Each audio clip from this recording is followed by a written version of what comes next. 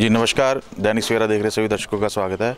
आज हम पहुँच चुके हैं वार्ड नंबर तिरानवे में जहाँ से अकाली भाजपा के सांझे उम्मीदवार सोनिया रविनंदन शर्मा चुनाव मैदान में उतरी है। उनसे बात करते हैं। जी सोनिया जी आपका स्वागत है। आप किन मुद्दों पर चुनाव मैदान में उतरी है? देखिए काउंसलर के जो मेन कार्य होते हैं कि जो अपनी बेसिक अम्यूनिटीज़ और फैसिलिटीज़ प्रोवाइड करना, वही हमारे मुद्दे हैं। यहाँ हैबोवाल में सड़कें सही ढंग से नहीं बनी सीवरेज की प्रॉब्लम है लाइट्स की दिक्कत है, और सबसे बड़ी बात है यहाँ पर गंदगी और कूड़ा करकट। वही हमारे मेन मुद्दे हैं कि जिसके लिए हमने यहाँ पर सबके साथ में मिलजुल कर ये काम करने का बेड़ा उठाया है कि अगर हमें यहाँ से, वार्ड से हमें, अच्छी वोट से हमें जिताते हैं तो हमारा यही होगा कि यहाँ की सड़कें स्वच्छ और साफ़ होंगी। यहाँ पर लाइट्स का पूरा प्रबंध किया जाएगा। हर तरफ़ जो बेसिक फैसिलिटीज़ हैं वो दी जाएँगी। इसके अलावा जो सेंटर और स्टेट की जो पॉलिसीज़ के तहत जो फैसिलिटीज़ आम जनता तक पहुंचनी चाहिए वो हमारा ये रहेगा कि उन तक पहुँचे। जैसे आप अभी मीटिंग कर रहे थे मैंने सुना आप कह रहे थे कि पिछले कुछ दिनों में स्मोक काफ़ी हुआ। उसके लिए आप कुछ अलग से करना है। क्या करेंगी जिससे कि वो स्मोक कम हो सके या उसके लिए आवाज़ उठाएँगी? कैसे करेंगे? हाँ जी। जैसे नवंबर में हमें सभी को पता था कि लुधियाना में बहुत बुरी हालत थी पोल्यूशन की और उसके लिए जो है मैंने काफ़ी कुछ सर्च भी किया था कि कुछ प्लांट्स ऐसे हैं जो हम लोग इंडोर में रख सकते हैं। उस दौरान जो बड़े बुज़ुर्ग हैं, बच्चों के लिए बहुत ही डिफ़िकल्ट टाइम था कि वो बाहर निकलने से इवन कि स्कूल्स में छुट्टियाँ भी करनी पड़ी थी इसी वजह से। तो इस तरह की प्लांटेशन हम लोग लोगों को अवेयर करेंगे।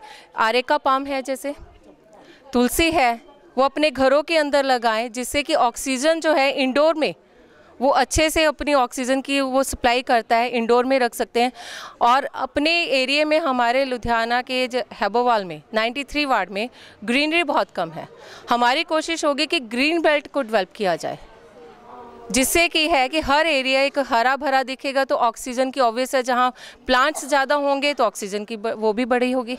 यही हमारा मेन पिछले कुछ सालों से देखा जाए तो डेंगू काफ़ी फैला था लुधियाना में, काफ़ी मौतें भी हुई है। उसके लिए आप कैसा, कैसे कदम उठाएँगे कि आपके वार्ड में ही नहीं, पूरे शहर में से डेंगू ख़त्म हो सके? इसके लिए देखो, एक टीम वर्क होता है, कोई भी एक अकेला इंसान कुछ नहीं कर सकता। इसके लिए हमारा ये होगा कि हम लोग लोगों को ज़्यादा से ज़्यादा अवेयर करें। और जो ये अवेयरनेस है, हम बच्चों के थ्रू सबसे ज़्यादा अच्छे कर सकते हैं। स्कूलों में जाकर हम सभी को ये गाइड करें कि क्या क्या प्रिकॉशंस है जो आप लें, ताकि जो डेंगू से, डेंगू का क्या है, मच्छर है, मच्छर कहाँ होता है जहाँ ताज़ा पानी खड़ा होता है? वही चीज़ों के लिए उनको अवेयर करेंगे कि जहाँ पर भी आप पानी खड़ा ना होने दें। साफ़ सफ़ाई का अपने घर और आसपास के ध्यान रखें। इन्हीं चीज़ों से लोगों को अवेयर करेंगे कैंपेनिंग करेंगे और साथ में हमारा जैसे हम लोग डोर टू डोर इन चीज़ों को बताएँगे कि आप अपने घर आस पड़ोस में कहीं पर भी गंदगी ना इकट्ठी होने दें और पानी ना इकट्ठा होने दें जिससे कि बीमारियाँ कम से कम हों।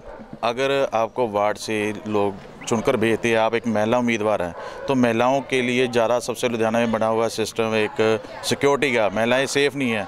जैसे चीना रोज़ उनसे छीना झपटी हो रही है तो उसके लिए क्या करेंगे जिससे उनके साथ ऐसा कोई घटना ना हो सके? देखिए, ये वही बात आ जाती है कि टीम वर्क की बात है। लेडीज़ को इतना एम्पावर होना चाहिए।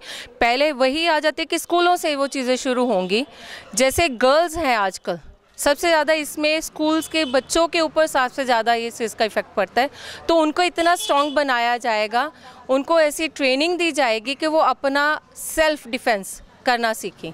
ये तो एक चीज़ है, लेकिन इसके अलावा जो हमारे जैसे एरियो में होता है कि घर के बाहर बैठी है लेडी बैठी है तो उसके कानों से छीन कर ले गए किसी न किसी बहाने से तो हम लोग अपने एरिया में सीसीटीवी कैमरा भी तो लगा सकते हैं ना? प्रोवाइड करेंगे टीम, हर एक एरिया में वो लगाओ कि अगर कोई ऐसी स्नैचिंग या किसी की होती है तो वो जल्द से जल्द वो पकड़ा जा सके।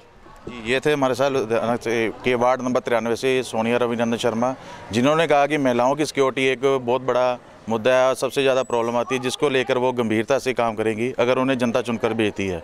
जी, लुधियाना के वार्ड नंबर तिरानवे से कैमरामैन रोहित कुमार के साथ सुरेश कर